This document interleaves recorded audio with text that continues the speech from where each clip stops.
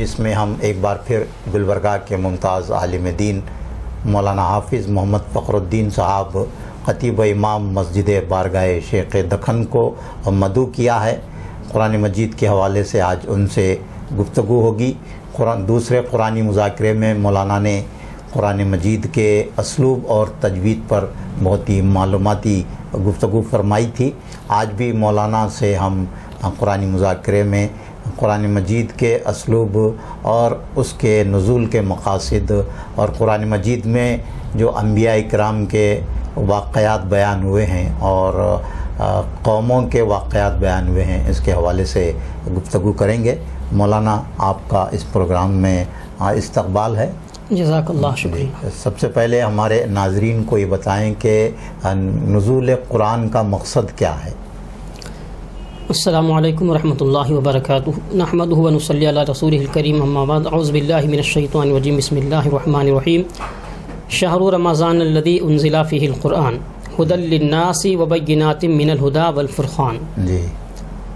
कुरान मजीद का सबसे अहम और अजीब मकसद उसके नज़ुल का सूरह बकरा की आयत नंबर एक सौ पचासी में बयान किया गया कि रमज़ान का महीना जिसमें कुरान उतरा। जी। लोगों के लिए हिदायत जी। और फैसले की रोशन बातें। हम्म, तो इस आयत की रोशनी में नज़ुल कुरान का जो अहम और अजीम मकसद बताया गया है वो नव इंसानी की हिदायत। जी जी। सारी इंसानियत के लिए हिदायत का सामान कुरान मजीद है। जी। इंसानियत के जितने तबक़ात हैं। उन तबक़ात की मुकम्मल रहनुमाई पूरी ज़िंदगी के हर मरहले में कुरान मजीद उनकी रहनुमाई करता है उन्हें हिदायत देता है। जी जी। कुरान मजीद के नज़ुल का दूसरा मकसद सूरह आल इमरान की एक सौ अड़तीसवीं आयत में ये बयान किया गया कि ये एक बयान है लोगों के समझने के लिए और हिदायत है और नसीहत है परहेजगारों के लिए। जी जी जी।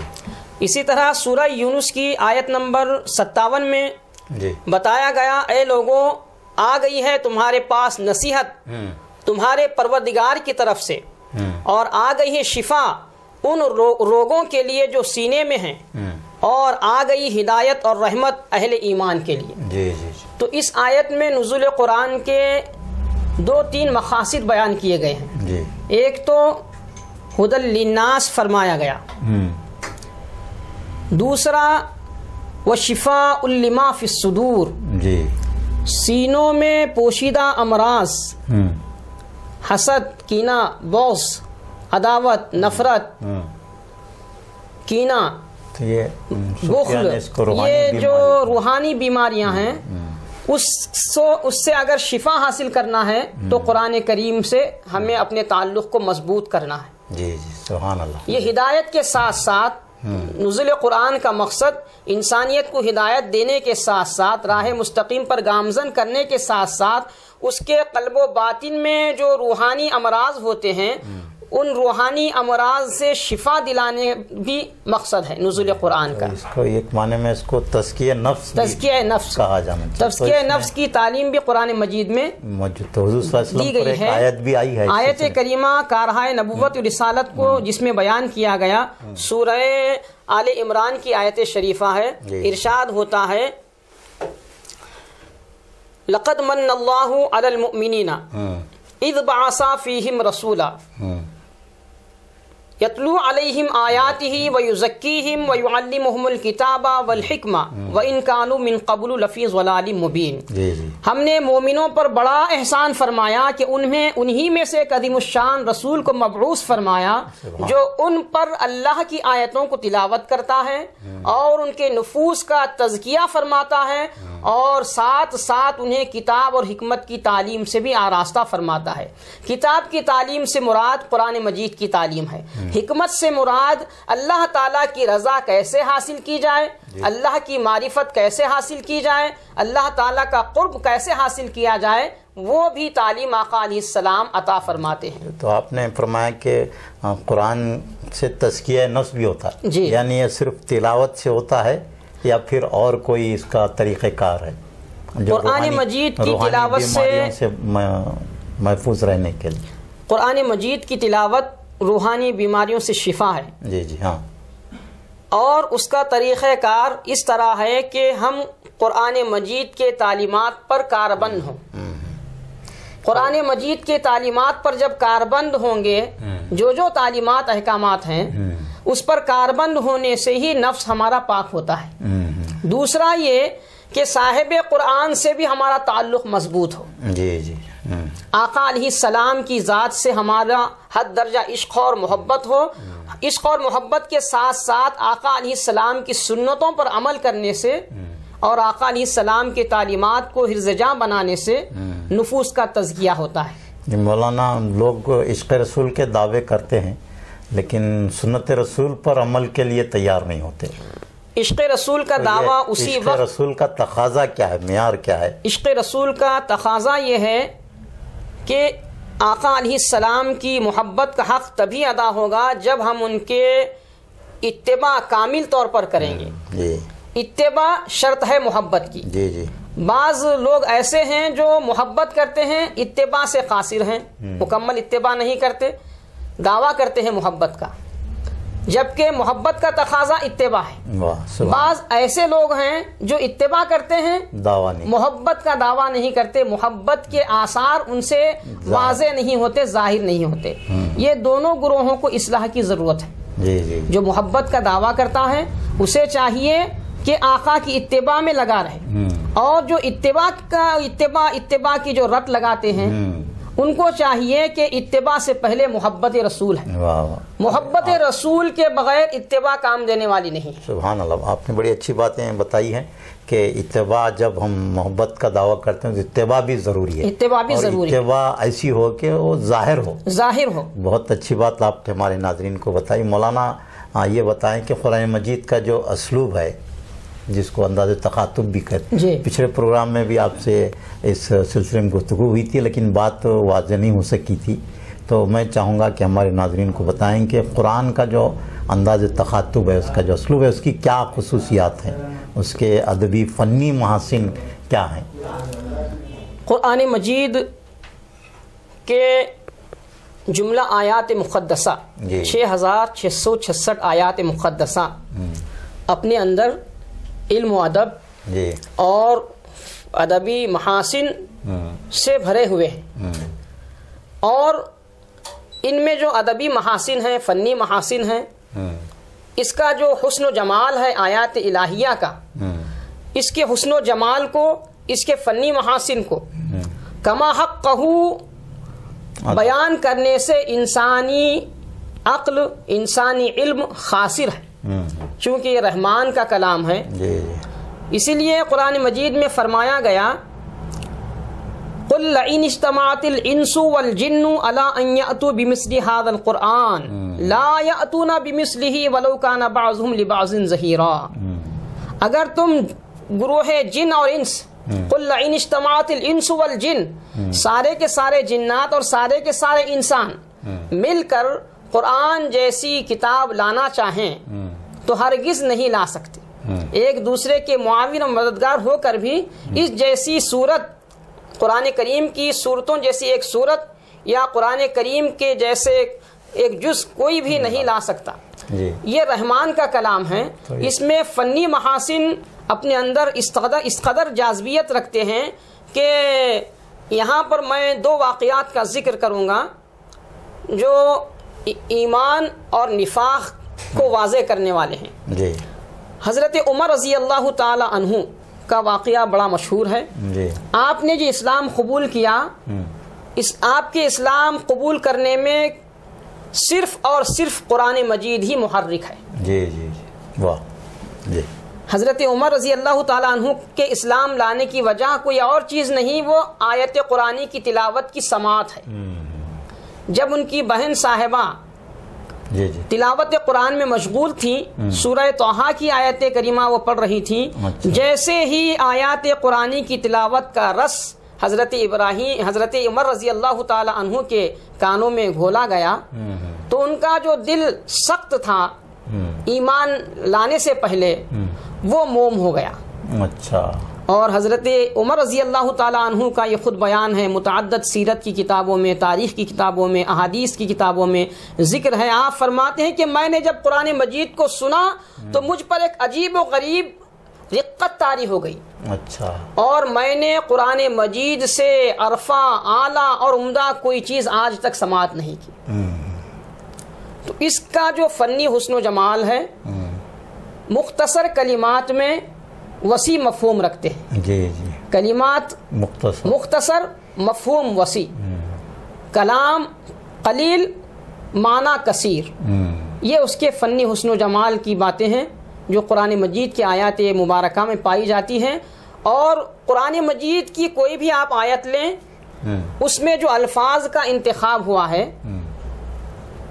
उस तरह के अल्फाज का इंतखब इंसानी बस की बात नहीं है। जी बेशक बेशक। ये रहमान का कलाम है। ये उसी का इंतखब है जो कलिमात के जामा को पहनाकर उन्हें उसने अपने कलाम को अपने हबीब पर नाजिल करके अपने हबीब पाक के वसात से सबसे बड़ा अतिया सबसे बड़ा इनाम कुरान की सूरत में उम्मत मोहम्मदिया को अता फरमाया। जी जी। उम्मत मोहम्मदिया इससे हिदायत हासिल करे। जी। और कुरान मजीद के फ़नी जो महासिन हैं अहले ईमान के आमाल स्वालहा और उनके लिए जो बशारतें दी गई हैं कुरान करीम में, वो अभी क़ियामत के बाद वो नेमतें जो जन्नत में हासिल होने वाली हैं, उसकी जो मंजर कशी की गई है कुरान मजीद में। उसकी जो मंजर कशी की गई है, सिर्फ़ आप आयत कुरानी के कलिमात को जब पढ़ते हैं तो ऐसा नज्म नस्त और ऐसा फ़नी हुस्न जमाल उसमें मौजूद है कि अगर ईमान और ईकान से पढ़ा जाए तो ऐसे महसूस होता है कि जन्नत की नेमतें हमारे सामने मौजूद हैं। उसका नज़ारा हम देख रहे हैं। हाँ इसी तरह जब कुफ़ार और मुशरिकीन के लिए वईदें सुनाई जाती हैं सख्त अजाबात का ज़िक्र किया जाता है तो उन कलिमात को सुनने के बाद एक मोमिन लर्जा बरंदाम होता है। और उस पर यह कैफियत तारी होती है वो ऐसा महसूस करता है कि अजाब इलाही सामने है। कुफ्र करने वालों को शिरक करने वालों को कैसे दो चार किया जाएगा उसका नज़ारा वो अपने हिस्सी आँखों से देख सकता हाँ। ये कुरान का बड़ा एजाज है। एजाज है उसके है हुस्न और जमाल है ये उसका उसका उसके फनी महासिन हैं जो दुनिया की किसी किताब में पाए नहीं जाते। कुरान मजीद जैसे फनी हुस्न जमाल रखता है और अदीब हजरात के लिए वो उनकी रहनुमाई करता है। इसी तरह कुरान मजीद का ये एजाज़ है कि वो सिर्फ़ अदबी महासिन नहीं रखता अदबी फ़न और फ़नी हुस्न जमाल नहीं रखता बल्कि उसके अंदर वो सारी चीज़ें हैं हर चीज़ का बयान है। कुरान मजीद के बारे में फ़रमाया गया किताबा तिबियान शै ए महबूब हमने आप पर जो किताब नाजिल फरमाई है इसमें हर चीज़ का बयान खोल खोल कर किया गया है। तिबियान का जो लफ्ज़ है इसके बारे में मुहदसिन मुफसरीन का ये कौल है कि तिबियान के माने वो असलन पोशीदगी को सरे से ख़त्म कर देना कर देना हाँ कोई चीज़ पोशीदा कोई नहीं चीज़ पोशीदा नहीं रहना। वाह बहुत कुरान मजीद तिबियान लिकुल्ली शई हम्म, उसके नाजिल फरमाने वाले ने इसकी सिफत बयान फरमाई। बिल्कुल। कुरान की सिफत कुरान के नाजिल करने वाले जलाल ने क्या बयान फरमाई? वनज़लना हमने नाजिल किया। अलैकल किताब आप पर किताब। तिबियान लिकुल्ली शई। वो किताब जो हर चीज़ को खोल खोल कर बयान करती है। बहुत शानदार। यानी जब से दुनिया वजूद में आई और दुनिया के खत्म होने, के बाद, बाद के अब्दुल आबाद की जो ज़िंदगी है चीज़ें तमाम चीज़ें उसमें बयान कर दी गई है। हाँ, तो कोई चीज़ है ही नहीं जो कुरान में नहीं दूसरी आयत में फरमाया गया है कि सूरह अनाम की आयत नंबर 38 जी। पारा नंबर सात में फरमाया गया है कि हमने इस किताब में कोई बात उठा नहीं रखी। अच्छा हाँ, हमने कोई इस किताब में कोई बात उठा नहीं रखी है हर चीज़ खोल खोल कर बयान कर तमाम बातें ज़ाहिर कर तमाम बातें अल्लाह ताला ने कुरान मजीद में समो कर रख दिया है अव्वल से आखिर तक। तो इसमें मौलाना अक्सर ये देखने में आता है कि कुरान मजीद की कई तफासिर लिखी गई लिखी गई है। तो इसकी वजह क्या है? इसकी वजह ये है- मुफसर अपने अंदाज में तफसीर को पेश किया है। हर मुफसर हम्म, जो तफसीर करता है वो कुरान और सुन्नत की रोशनी ही में जी जी। तफसीर बयान करता है। अच्छा हाँ हाँ। उसका अंदाज कोई तवालत के साथ करते हैं हम्म, हम्म, कोई मुख्तसर। कोई मुख्तसर करते हैं। इसकी वजह यह है कि मुफसर का ताल्लुक कुरान से जिस कदर मज़बूत मुस्तहकम होगा उसी कदर उस पर उसके मानी उसके मफाहिम उसके मतालिब असरार खुलेंगे। उसके असरार खुलेंगे। हज़रत ख्वाजा दक्कन सैयद मोहम्मद हुसैन बंदा नवाज़ की अलैह। जी। अलमुल्तखत तफसीर आपने। तसव्वुफ के रंग में लिखी है। आप उसमें फरमाते हैं कि मैं जब कोई आयत की तफसीर लिखना चाहता हूँ हम्म, तो मुझ पर मिनजानिबिल्ला एक आयत की साठ हज़ार तफसीरें वाज हो जाती हैं। शर सद्र हो जाता है। एक आयत की तफसीर करना। चाहूँ तो साठ हज़ार तफ- तफसीरें मेरे लिए खोल दी जाती हैं शर सदर कर दिया जाता तो है इतना कुरान मजीद में गौर और तदब्बर किया जा और सकता तदब्बर किया जा सकता है। और हमारे बुज़ुर्गों ने किया है। हाँ। हज़रत अली अबुल हसन नामी एक बुज़ुर्ग कुरान मजीद की तफसीर की 600 जिल्दें उन्होंने लिखी हैं। अच्छा। हम्म, इमाम अहमद रजा खा फाजिल बरेलवी रहमतुल्लाह अलैह ने सिर्फ़ सूरत जुहा की तफसीर अस्सी सफ़ा अस्सी जिल्द अ, अ, अस्सी सफ़ात पर उसकी तफसीर उन्होंने लिखी है। तो आपने इमाम अहमद रज़ा खान बरेलवी का नाम लिया। तो उनके बारे में ये कहा जाता है कि उन्होंने कुरान के तर्जुमे में उसके आदाब को और उसके क़ायदे को मलूज़ रखा है।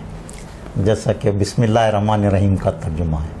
तमाम तर्जुमे अल्लाह के शुरू करता हूँ मैं अल्लाह के नाम। जी जी। लेकिन इमाम अहमद रज़ा फाजिल बरेली का तर्जुमा है। कि अल्लाह के नाम से शुरू शुरू करता हूँ। तो ये खूबी जो है उनके तर्जुमों की। उनके तर्जुमे की खूबी अल्हम्दुलिल्लाह जी। बर सग़ीर ही नहीं जी। बल्कि पूरे आलम में जिस कदर भी तर्जुमे लिखे गए हैं उनमें इनफरादियत इमाम अहमद रज़ा खां फाजिल बरेलवी का लिखा हुआ तर्जुमा कंजुल ईमान के नाम से। जी। वो सिर्फ़ बारगाह इलाही के ही आदाब हमेशा मलहूज नहीं रखते बल्कि बारगाह रिसालत के आदाब भी मलहूज रखते हैं।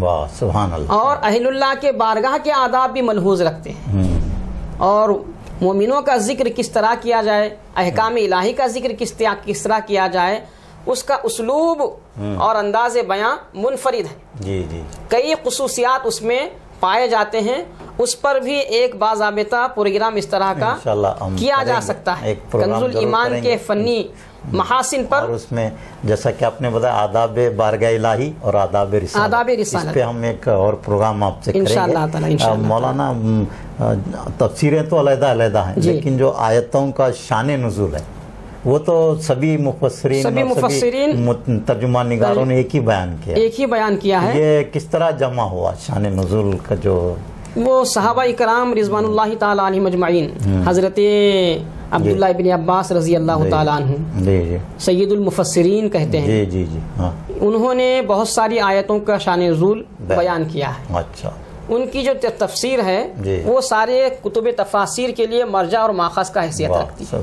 इसके अलावा हज़रत अली करम वजहुल करीम रज़ी जी। उन्होंने कुरान मजीद के शान नज़ूल को नहायत तफसील के साथ बयान किया है। तो ये मुफसरीन के लिए ये दो ज़ातें हज़रत अली करम वजहुल करीम और हज़रत अब्दुल्ला इब्न अब्बास रज़ी अल्लाह जी। इनकी ज़ातें उनके लिए मर्जा और माखस की अहमियत हैं। उन्होंने रहनुमाई की है शान नज़ूल बताया है। अच्छा। और शान नज़ूल कुरान मजीद की आयतों और सूरतों के शान नज़ूल पर भी बे इंतहा काम हुआ है। अच्छा। इस पर कई किताबें इस मौजू पर लिखी गई है। तो ये शान नजुल का बयान करने का मकसद क्या है? शान नज़ूल बयान करने का मकसद यह है कि उसका सयाक और सबाक क्या होता है हाँ। उसका पस मंज़र क्या है? उसकी गर्ज आयत क्या है? आयत नाजिल होने की। अच्छा हम्म, हम्म। उसको बताने के उसमें जो है ना शान नजूल में ये सारी बातें बतलाई जाती हैं।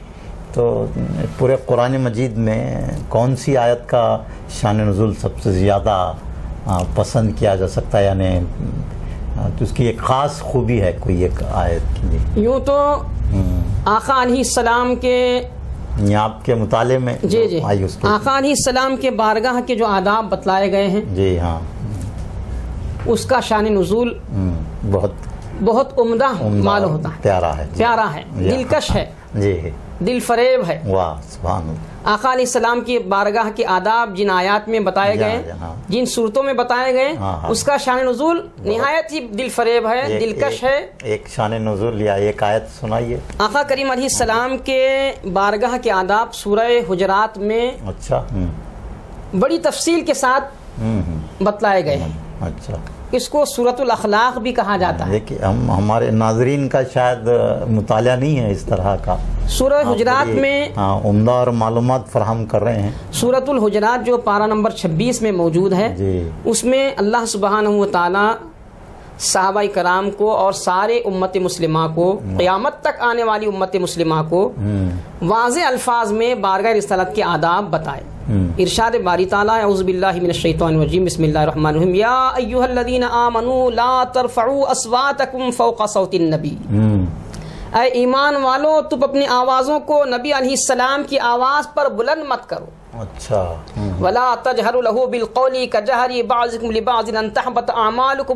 ला अगर तुम अपनी आवाज़ों को आका अलैहिस्सलाम की आवाज़ पर बुलंद करोगे तो तुम्हारे आमाल इस कद ऐसे ज़ाय हो जाएँगे कि तुम्हें गुमान भी ना होगा। हाँ हाँ अदना से बारगाह रिसालत की अदना से बेअदबी सिर्फ़ आवाज़ बुलंद करना। कितना बड़ा यानी।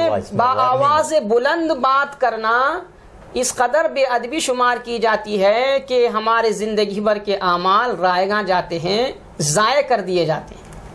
अच्छा तो ये जो आयत नाजिल हुई इसका क्या वजह थी? पस मंज़र क्या रहा? बहुत सारे लोग आकर आका सलाम जब अपने हजर अकदस में होते काशान नबूवत में होते तो आवाज़ देते थे। हम्म, हम्म, ज़ोर से आवाज़ लगाते थे कि या रसूल अल्लाह आराबी कोई आते देहाती साहबी। तो उनको आदाब सिखलाए गए कि बारगाह रिसालत में हम्म, इस तरह से बाआवाज़ बुलंद सदा नहीं दी जा सकती। हम्म। अदब को मलहूज रखना है। इसीलिए इज़्ज़त बुखारी का ये शेर हम्म, मैं यहाँ सुनाना चाहूँगा। बारगाह रिसालत के बारे में उन्होंने कहा है इज़्ज़त बुखारी पाकिस्तान के शायर हैं। अच्छा। इस शेर को अक्सर हजरात अल्लामा इकबाल के तरफ़ मंसूब करते हैं। हम्म, जबकि ये शार ये शेर जो है इज़्ज़त बुखारी का है। अच्छा। वो कहते हैं अदब गाहीस्त जेर आसमां अज अर्श नाजुकतर हाँ हाँ अदब गाहीस्त जेर आसमां अज अर्श नाजुक तर। नफस गुम कर दामी आयत जुनेद बायजीदी जहाँ। आका अलैहिस्सलाम की जो बारगाह है जेर आसमान ये अर्श से भी नाजुक तर मुकाम है। अच्छा। और हज़रत जुनैद और बायजीद जैसे बड़े बड़े बुजुर्गान दीन यहाँ ज़ोर से सांस लेना भी बेअदबी तस्वुर करते हैं। तो ये उसके मुकाम लेकिन मौलाना मैं देखता हूँ कि अक्सर नात खान और कराम जो है नात पढ़ते वक्त या खिताबत में चीख चीख कर हजूर सल्लल्लाहु अलैहि वसल्लम का नाम लेते हैं और बहुत बुलंद आवाज़ में हुजूर का नाम लिया जाता है नातों में। तो क्या ये कमाल अदब के खिलाफ आजकल जो नात खानी हो रही है कमाल अदब के खिलाफ कमाल अदब को मलहूज उसमें नहीं रखा जा रहा है। हम्म, सिर्फ़ नात ख्वाह हजरात हो हम्म, या खतीब हो। या खतीब हो हम्म, ये उनका मतम नज़र ये होता है कि हमारे इस अंदाज से हाजरीन सामाइन मुतासर। हों उन पर रिक्कत तारी हो। तो ये रिक्कत तारी करने के लिए बुलंद आवाज़ की ज़रूरत नहीं है। रिक्कत तारी करने के लिए का और खिताबत का मकसद भी इसमें दिल की गहराइयों से कलाम करना है हाँ, जी जी। कैफियत तारी होती है। कैफियत तारी हो। खुद पहले मुतासर होना है। जी जी। उससे खुद पहले मुतासर व महजूज हों। हाजरीन खुद ब खुद मुतासर व महजूज होंगे। मौलाना हम फिर कुरान मजीद की तरफ़ आते हैं। जी। तो कुरान मजीद में अम्बिया कराम का भी पूरे तफसीली वाक़ात बयान जी जी। तो इसका क्या मकसद है? कुरान मजीद में अम्बिया अलैहिस्सलाम रसूल अलैहिस्सलाम का ज़िक्र नहायत शरह व बस्त के साथ किया गया है। कुरान मजीद में अम्बिया इकराम अलैहिस्सलाम पर जो इनामात फरमाए गए उसका ज़िक्र भी तफसील से है। हाँ हम्म। उनकी और- कौमों का भी ज़िक्र है। उनकी कौमों में वो ग्रोह जो उनकी ताबेदारी करता रहा इतात करता रहा। उसके लिए खुशखबरियों का ज़िक्र है। जो उनकी नाफरमानी किया और उन्हें तकलीफ़ और ईज़ाएँ पहुँचाई उनकी तबाही और हलाकत का ज़िक्र कुरान मजीद में अम्बिया इकराम अलैहिस्सलाम का जो ज़िक्र शराह व बस्त के साथ किया गया है कुरान मजीद के फ़नी हसन जमाल में ये भी बात मौजूद है कि एक आयत में हम्म, मुख्तसर सी आयत में एक बरगुजीदा रसूल और नबी के वो सारे औसाफ को मजमू तौर पर बयान किया गया है जो उनके शख्सियत का जो है महवर व मरकज़ हुआ करती है। वाह बहुत अच्छा जी। सूरह हूद में हम्म, हज़रत इब्राहिम अलैहिस्सलाम का ज़िक्र नहायत ही दिल नशी पैराए में बयान किया गया। आयत अगरचे मुख्तसर है। मैं यहाँ अर्ज़ करूँगा। इरशाद जी। सूरह हूद में अल्लाह ताला ने फरमाया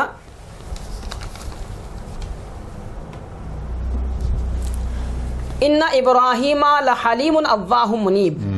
बेशक इब्राहिम निहायत ही बुर्दबार और नर्म दिल। हम्म, मुनीब यानी हर हाल में अपने रब की तरफ़ रुजू होने वाले थे। मुनीब का माना ये। हर हाल में अपने रब की तरफ़ रुजू होने वाले वाह। और हज़रत इब्राहिम की ज़िंदगी को हम देखें शुरू से आखिर तक कुर्बानियों से भरी हुई है। इतात और फरमाबरदारी का इतात। फर्मा बरदारी के साथ साथ ईसार हिल्म। ईसार और हिल्म उनके शख्सियत के खास औसाफ थे। जी हाँ जी हाँ। सब कुछ अपने रब के लिए लुटाने का जज्बा कुर्बान करने का जज्बा उनके अंदर था। तो इससे एक मुख्तसर आयत में हज़रत इब्राहिम पूरी ज़िंदगी को इन्ना इब्राहिम अल हलीम अव्वाह मुनीब। आयत मुख्तसर है। लेकिन हज़रत इब्राहिम अलैहिस्सलाम की सीरत हम्म, पूरा तारुफ इसमें मौजूद है। अगर इसको फैला दिया जाए तो कई सौ किताबें भी इस पर लिखी जा सकती हैं। इब्राहिम अलैहिस्सलाम के सवानह को सीरत को अगर इस आयत की रोशनी में लिखा जाए तो एक किताब नहीं कई किताबें आप आप लिखी जा सकती। हैं कुरान की जो खूबी बयान कर रहे हैं जी, जी। मैं समझता हूँ कि अल्लाह का कलाम होने की ये सबसे बड़ी सबसे बड़ी दलील है। दलील है। या हाँ। मुख्तसर अल्फाज में तफसील माना अल्फाज कलील माना कसीर। एक आयत आपके सामने मैंने अर्ज़ किया कि इन्ना इब्राहिम अल हलीम मुनीब। बेशक इब्राहिम बुर, निहायत बुर्दबार और नरम दिल और हर हाल में अपने रब की तरफ़ रुजू होने वाले थे। जब हज़रत इब्राहिम अलैहिस्सलाम के ज़िंदगी का एक अहम मरहला जो सबसे पहले उन्हें पेश आया अल्लाह ताला ने उन्हें वादिय गैर जी ज़रा में हम्म, अपने बेटे लाडले इस्माइल और अपने बे- अहलिया को आबाद करने का हुक्म। अल्लाह ताला ने उन्हें हुक्म दिया कि तुम अपने बीवी को और बेटे को वादिय गैर जी ज़रा में छोड़ाओ हम्म, जहाँ आज काबतुल्ला है वहाँ पर हज़रत इब्राहिम अलैहिस्सलाम ने अपने बीवी बीबी हाजरा को और अपने बेटे इस्माइल को वहाँ छोड़ा। उसका ज़िक्र कुरान मजीद की आयत में है रब्बना इन्नी अस्कन तुमिन जुर्रियती बिवादी गैर ज़ी ज़रइन इंदा बैतिकल मुहर्रम। अय मेरे परवरदिगार मैं अपने अहलो अयाल को रब्बना इन्नी अस्कन तो बिवादी गैर ज़ी ज़रइन इंदा बैतिकल मुहर्रम। मैं अपने अहलो अयाल को इस वादी गैर ज़ी ज़रा में तेरे हुरमत वाले घर के पास छोड़ जा रहा हूँ। जी जी। ताकि ये नमाज़ कायम करें। तो इस वाक़े में मौलाना के आज के जो मियाँ बीवी है उनके लिए बहुत बड़ा पैगाम बहुत बड़ा पैगाम है। तो हज़रत बीबी हाजरा ने जब पूछा कि आप हमें इस वीरान बयाबान में छोड़े जा रहे हैं। किसके हुक्म? क्या है इसका? तो हज़रत इब्राहिम ने फरमाया कि अल्लाह का हुक्म। अल्लाह की बंदी उस पर तस्लीम और रज़ा तस्लीम और रज़ा की पैकर बनकर फिर? खुश दिली के साथ उस काम के लिए वो तैयार हो तो आज कुछ मुसीबतें आ जाती हैं तो बीवी जो है शोहर से शोहर नाराज़ हो जाती शिकवा गिला हाँ, करने लग जाती है अल्लाह की मर्ज़ी है इसको अगर जब तक जहन में ये बात ना आए। जी जी जी। तो खुशगवार मैं समझता हूँ कि दुआ ज़िंदगी नहीं हो सकती। नहीं हो सकती। अल्लाह रसूल के अहकाम और उसकी रज़ा को जो जोड़ा पेश नज़र रखता है कैसे कठिन ही क्यों मरहला ना आ जाए वो आसानी से उस मरहले को सर कर जाते हैं। तो इसमें अल्लाह ताला कुरान मजीद में जहाँ हज़रत इब्राहिम अलैहिस्सलाम का उनकी फरमा बरदारी इतात का ज़िक्र है खुद सुपुर्दगी का ज़िक्र जी, तो जी। क्या हज़रत बीबी हाजरा का भी जो अल्लाह के ऊपर ईमान और अपने आप को उसकी मर्ज़ी के आगे जी, जी। सुपुर्द कर देना। इस बारे में कोई आयत आई है? कुरान मजीद में सूरह मरियम में जी। हज़रत इस्माइल का ज़िक्र करते हुए उनके बेटे हज़रत इस्माइल। अच्छा जी जी जी हाँ। जो वहाँ आबाद कर दिए गए थे वादी गैर जी जरा में वालिदा माजिदा के हमरा। जी। उनके बारे में सूरह मरियम में फरमाया गया वज़कुर फिल किताब इस्माइल। हम्म। इस किताब में इस्माइल का ज़िक्र कीजिए। हम्म। इन कान वकान रसूल नबी वादे के सच्चे थे। वकान अहलहु बिस्सलाति वज़्ज़काह वो अपने अहलो अयाल को नमाज़ और ज़कात का हुक्म देते थे। वकान अहलहु बिस्सलाति वज़्ज़काति वो अपने अहलो अयाल को नमाज़ और ज़कात का हुक्म देते थे। वकाना इंद रब्बिही मर्जिया हम्म। वो अपने रब के पास मकाम तस्लीम और रजा पर फाइज थे। वाह। तो इसमें तस्लीम और रजा का पैकर हज़रत इस्माइल और उनकी वालिदा माजिदा है। वाह वाह कितना तस्लीम और रजा। रजा की इसी की तरफ़ इशारा करते हुए अल्लामा इकबाल ने क्या खूब इसका तर्जुमा इस आयत में फरमाया कि ये फैज़ान नज़र था या मकतब की करामत थी? जी जी ये फैज़ान नज़र था या मकतब की करामत थी? सिखाए थे किसने? इस्माइल को आदाब फजन दी। हाँ जी जी। तो राज़ी बरजा रहना ये आपके वालिदा का भी ख़ास औसाफ थे वालिदा के। और हज़रत इब्राहिम सलाम के बारे में तो वाज तौर पर फरमाया गया कि वकाना इंदा रबी मस्जिया वो अपने रब के यहाँ मकाम तस्लीम और रज़ा पर फाइज थे। जी तो जिस तरह से अल्लाह तबारक ताला ने अपने नेक बंदों जी। से को भी आजमाइश से गुजारा तो पैगम्बरों को भी आजमाइश से गुजारा है। तो ऐसे कई वाकयात कई वाकयात कुरान मजीद में हैं। आपने बड़े अच्छे अंदाज में एक नशीं- आयत करीमा जी, जी। मैं हज़रत अयूब सलाम की हाँ, हाँ। मैं यहाँ ज़िक्र करूँ। सब्र अय्यूब बहुत सब्र अयूब मिसाल दी जाती है। जी। वो हज़रत अयूब सलाम का ही हक था जी। कि उन्होंने वैसे कठिन और सब्र आजमा मराहिल में अपने आप को तस्लीम और रज़ा का पैकर बनाया। बना बहुत। कुरान मजीद में उनके बारे में ज़िक्र होता है सूरह अंबिया में। सूर पारा नंबर सत्रह। सूरह अंबिया में ज़िक्र है। व अयूबा इजनादा रब्बहु अन्नी मसनी जुर्रु व अंता अरहमुर मुख्तसर आयत है। व अयूबा और अयूब इजनादा रब्बहु। जब उन्होंने अपने रब को निदा दी अच्छा। किस बात की निदा दी अन्नी मस्सनी जुर्र। ये कलिमा निहायत काबिल गौर है। अच्छा जी। उनके सब्र व इस्तकलाल को वाजे करने वाला है। अन्नी मस्सनी जुर्र। हम्म। उनके तकालीफ का तो वो बयान नहीं वाकया बहुत तफसीली वाकया है। नहीं कर सकते उन, उसको हम बयान नहीं कर सकते। तो उतनी तकलीफ़ के मरहले में उन्होंने रब से जिस अंदाज में दुआ की मुनाजात की उसको कुरान ने दिल नशी पैराए में बयान किया। क्या क्या है उसका अंदाज देखिए? अन्नी मसन जुर्रु अय मेरे रब मुझे तकलीफ़ ने छू लिया है। अच्छा वाह। मुझे तकलीफ़ ने छू लिया। है। छू लिया का लफ्ज हालाँकि मस या मुस्सु के माने होते हैं छूना। हालाँकि इतने ऐसी कैफियत में सब कुछ हाँ। कुर्बान कर दिया। बीवी बच्चे चले गए। हाँ। आबादी से खुद बाहर हो गए।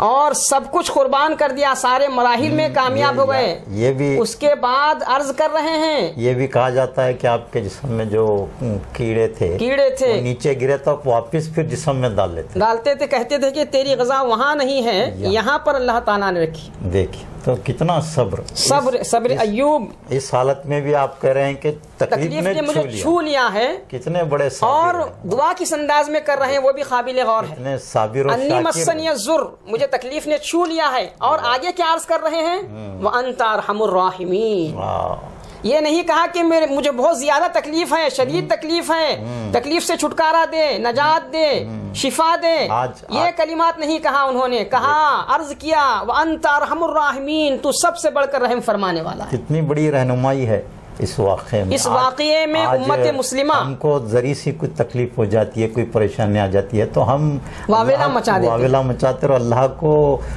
कोसने का काम हैं। और कुफरिया कलिमा तक हमारी ज़ुबान से निकल जाते हैं। दानिस्ता तौर पर भी नादानिस्ता तौर पर। ये हज़रत अयूब अलैहिस्सलाम का आपने वाक़या बयान किया। कितनी बड़ी इसमें रहनुमाई रहनुमाई है उम्मत के लिए।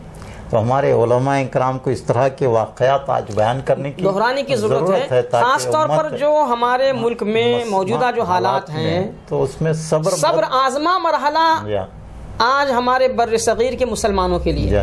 एक मैं गालिबन ये हदीस भी है शायद के सब्र और दुआ मोमिन का सबसे बड़ा सबसे बड़ा हथियार है। है इस इस हथियार को रखते हुए रखते हुए भी हम वावेला मचाते हैं हमारे सामने पूरे अम्बिया कराम के जी। मौजूद हैं साहबा के वाक़यात मौजूद हैं कि किस तरह उन्होंने सब्र सब्र आजमा हालात से किया। गुजर के सिर्फ़ इसलिए कि अल्लाह की अल्लाह- रजा रज़ा। हासिल हो अल्लाह राज़ी हो अब हम सिर्फ़ इबादतों के ज़रिए अल्लाह को राज़ी करने राज़ी की करने की कोशिश करें जबकि हमारे अम्बिया हैं और अब सल्फ सालीन साहबा है ये मुसीबतों में भी सब्र करके अल्लाह को राज़ी करते थे शिकायत का एक लफ्ज़। उनकी ज़ुबान पर नहीं आया आज ये उनके माथे पर शिकन नहीं आई ये जो किरदार है इसको उम्मत को उम्मत को इख्तियार करने की ज़रूरत है और उससे सबक हासिल करने की ज़रूरत है तो मैं चाहूँगा कि मौलाना हम तफसील से अगले चंद प्रोग्राम इस तरह के करें। ताकि हमारे नाजरीन की रहनुमाई हो कि वाकई हमारे कुरान मजीद में जो अम्बिया का ज़िक्र है और किस खूबी के साथ है? किस खूबी के और साथ? उसका पस मंज़र क्या है? उससे हम क्या जी, इस जी। एक आप वक्त दें हमारे नाजरीन को प्रोग्राम पेश करेंगे। तो मैं चाहूँगा कि प्रोग्राम के आखिर में आपसे ये सवाल करना चाहूँगा कि अल्लाह तबारक ताला ने कुरान मजीद की हिफाजत का ज़िम्मा खुद लिया। जी। तो इसमें और एक मैं इब्तदा में आपसे सवाल करना चाह रहा था वो भी मुझे अब याद आया है कि बेशक कुरान मजीद जो है रमज़ान मुबारक में नाजिल हुआ। और भी जो आसमानी किताबें सहायफ आई हैं।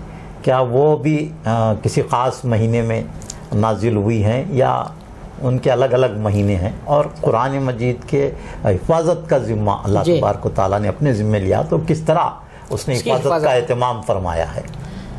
रमज़ान शरीफ जी। नज़ुल कुरान का ही महीना नहीं है जी जी। बल्कि तौर ज़बूर इंजील जी। ये भी पैगंबरों को जो अता की गई हैं रमज़ान शरीफ ही में अता की गई अच्छा। है इसके अलावा सौ सहीफ़े। अच्छा जी जी। इब्राहिम अलैहिस्सलाम इस्माइल अलैहिस्सलाम नूह अलैहिस्सलाम दीगर अम्बिया को जो सहीफ़े दिए गए वो सहीफ़े भी रमज़ान शरीफ ही में अता किए गए। इसीलिए रमज़ान को इस कदर अजमत अहमियत फजीलत से अल्लाह ने नवाजा है क्योंकि ये उलूम इलाहिया के नज़ुल का महीना है। अहकाम इलाही के नजूल का महीना है।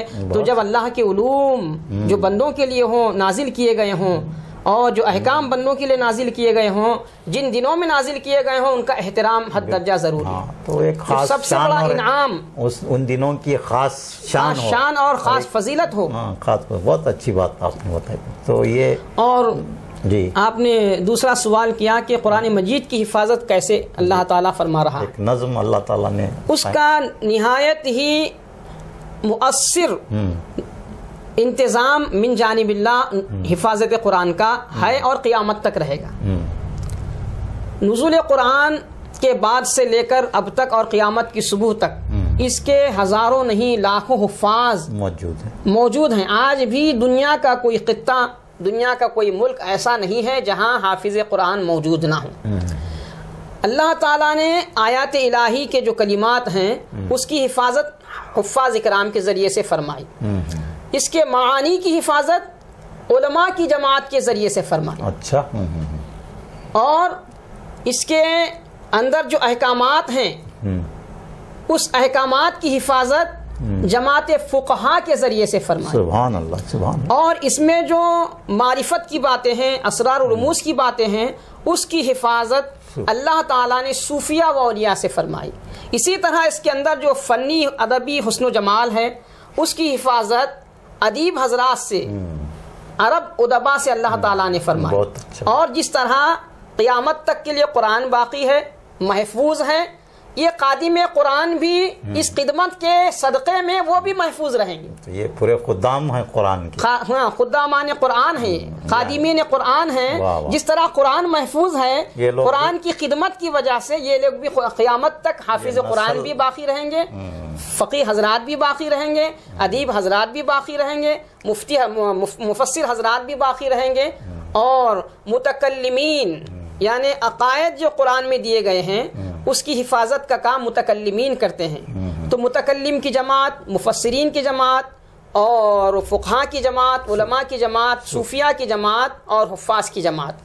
ये खिदमत कुरान के तवसल अल्लाह ताला इनको क़यामत की सुबह तो बाकी रखेगा। ये दुनिया की मैं समझता हूँ कि कोई किताब ऐसी नहीं जिसके इतने उपवास और इतने जितने आपने बताया सूफिया इतने हुफाज भी नहीं हैं और इस कदर किसी किताब पर काम भी नहीं किया नहीं गया।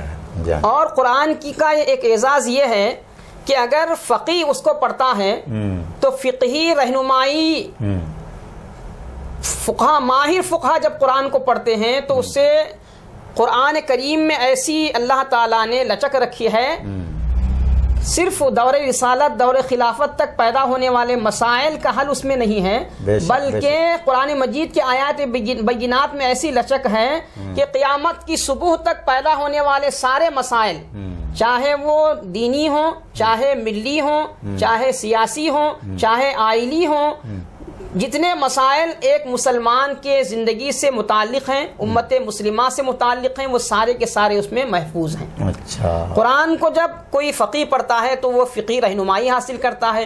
कोई अदीब पढ़ता है तो अदब की अदब का हुस्न जमाल उसको मिलता है। कोई सूफ़ी पढ़ता है तो अल्लाह का कुर्ब उसको हासिल होता है। मारिफत का वो रंग उस पर चढ़ जाता है जो दूसरी किताब से उसको हासिल नहीं नहीं होता। होता। तो कुरान तमाम उलूम का माखज है। कुरान तमाम उलूम का माखज है और कुरान में इस कदर उलूम रखे गए हैं जो क़यामत तक ज़ाहिर हो जाएँ फिर भी कुरान करीम का अहाता मुश्किल है। मुश्किल है। दौर हाजिर में ये साइंस और टेक्नोलॉजी का दौर है। हम्म, तो मैं इस आज के इस प्रोग्राम से ये मैं पैगाम देना चाहूँगा कि साइंस और टेक्नोलॉजी के दौर में मेडिकल तरक्की पर है उरूज पर है। इस दौर में एक हमारे उम्मत मुस्लिमा में एक ख़ास ऐसा तबका पैदा हो ऐसे माहरीन पैदा हो जी हाँ, जी। कुरान में साइंस और तिब की जो तालीम दी गई है और मेडिकल के हवाले से जो उसमें रहनुमाई की गई है ये मौजूद है ये उस रिसर्च पर हाँ, उस पर रिसर्च और इजाफा किया जाए। रिसर्च मौजूद है लेकिन उसको गुम गोशे गुमनामी में रखा गया। जी जी उसको मंजर आम पर मंजर आम पर लाने की ज़रूरत है। और ये दौर साइंस और टेक्नोलॉजी का दौर है तो माहरीन की ऐसी जमात पैदा हो है।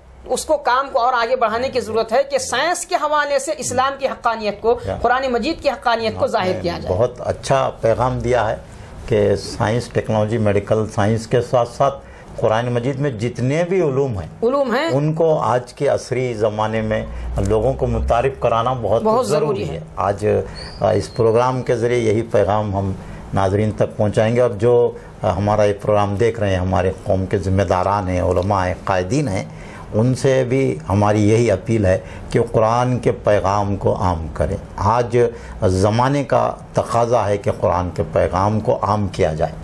और फिर कुरान नाजिल इसलिए हुआ है कि इससे सारी दुनिया की इंसानियत की रहनुमाई हो।